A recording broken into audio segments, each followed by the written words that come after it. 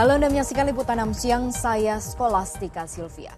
Kecanduan judi online sering kali membuat orang lupa diri, tak terkecuali seorang ayah yang bisa-bisanya tega menjual anak kandungnya yang baru berusia 11 bulan hanya demi bisa lanjut bermain judi online.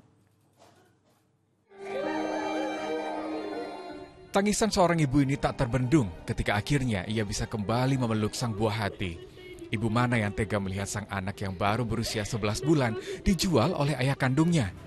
Ayah korban tega menjual darah dagingnya melalui media sosial seharga 15 juta rupiah hanya untuk bermain judi online dan membeli telepon genggam. Terus saya desak di situ, ke mana anak kita, baru dia jawab. Oh, bahwa anak kita kita jual dengan harga 15 juta di Tangerang, dia COD di pinggir kali Cisadane. Di situ saya shock sebagai seorang ibu, nggak nyangka ibaratnya suami saya kenal baik terus dia tega melakukan ibaratnya jual anaknya sendiri demi kesenangan dia sendiri Polisi menetapkan sepasang suami istri dan ayah korban sebagai tersangka. Hasil penjualannya digunakan untuk membeli dua buah handphone untuk keperluan sehari-hari dan juga untuk bermain judi. Ya, kepada siapa tersangka RA ini menjual? Kepada dua tersangka lainnya. Ketiga tersangka kini mendekam di tahanan Polres Metro Tangerang Kota dan terancam Undang-Undang Tindak Pidana Perdagangan Orang dengan hukuman 10 tahun penjara.